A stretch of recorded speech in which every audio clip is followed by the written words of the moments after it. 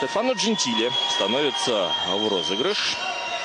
Чинчарини, который тянул лямку основного разыгрывающего, даже на площадке нет. Алессандро Джентили. Вот какое попадание.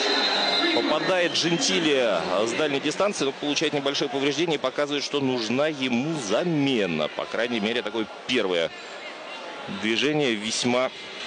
Что здесь произошло? Не видим мы ног. Момент приземления. Может быть, на ногу сопернику Джентили приземлился. Да. Видите, ой. Невероятно больно.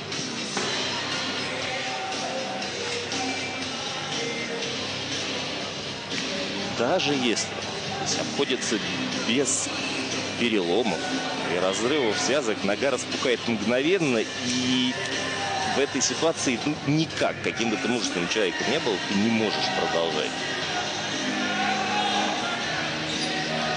Если всей массой тела прилетел, ну, ладно, я не доктор, диагноз заставить не, не уполномочен, но вот просто поверьте на слово, это невероятно больно.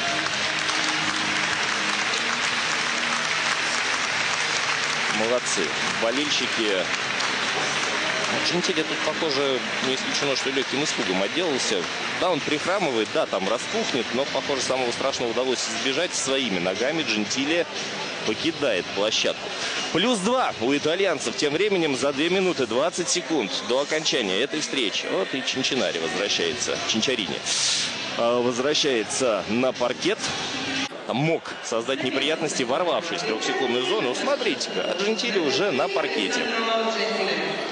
Ну что, нужен он своей команде на площадке? Да, несколько лимитирован он сейчас будет в своих перемещениях. Но передачу-то он отдавать может. И смотрите, что творит Кузин. Фалом забрасывает после передачи как раз Алессандро Джентили не зря возвращался. Пятый фол получает Евгений Воронов. Кузин вплотную, как мне абсолютно оправданный ход. Даже не поздновато ли?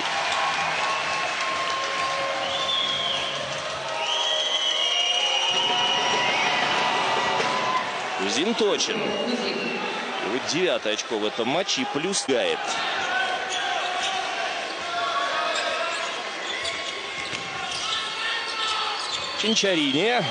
Чинчарини. И теперь уже вообще некуда итальянцам торопиться. Они владеют преимуществом. Они играют от соперника. Джентили в проходе очередные очки набирает. 19 их у него набрал. Очень кстати. Болельщики включаются. Арадори вручает мяч Джентили. Ну, тот Гумплуа, чудотворца, уверенно себя чувствует, но боковой.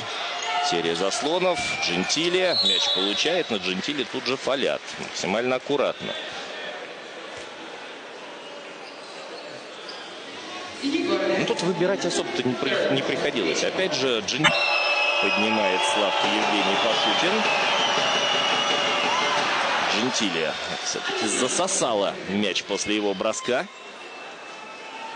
Плюс 2 у итальянцев 65-63. По-прежнему не дают Евгению Пашутину произвести эту замену. Если Джентили забьет,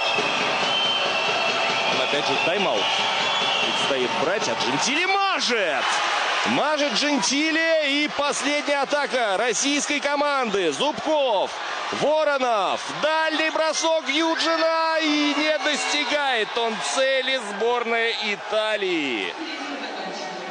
Выигрывает со счетом 65-63. И наши парни терпят второе поражение подряд в этой квалификации, загоняя себя практически безвыходное положение.